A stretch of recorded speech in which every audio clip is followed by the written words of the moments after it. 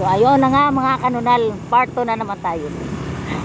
Tek na naman kayo maligaw. Dito na naman kami dumaan yun, papuntang Tehero to eh. Alam ko dito naman kami dumaan nung nakaraan eh. Oh, shortcut, naging long cut na naman to. Diyos mio marimaro. Ito nga yun, no? Idaanan namin din nung nakaraan. Nako, marimar. Wala na.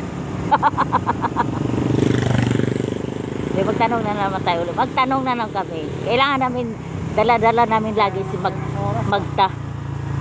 Si magtanong. Eh, di ba sabi nga nila, kailangan kasama nyo lagi si magta. Kasi, para hindi kayo maligaw.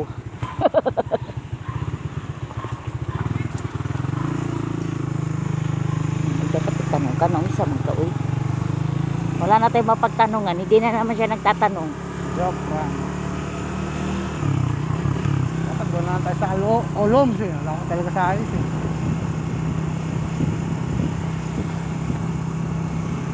Ay, Claridad. Bagal ng navigator.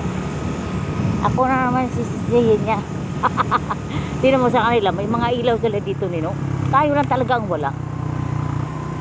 Mahirap lang tayo.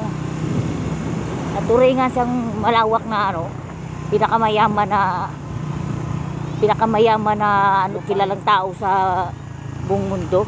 Tapos walang kailaw-ilaw yung mga kalupaan niya. Ewan ko ba, ang mamahal pa naman ng bahay niya tapos ngayon walang ilaw.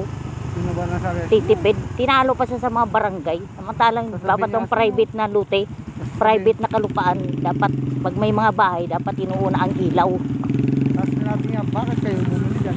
For the safety yun on. Andito na kami sa aming palayan. Oh, Ayan na oh.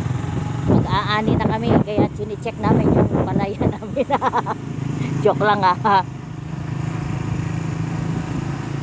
Ah, so yun na guys.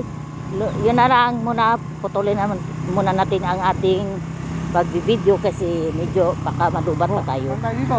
Maraming salamat mga kanunaro.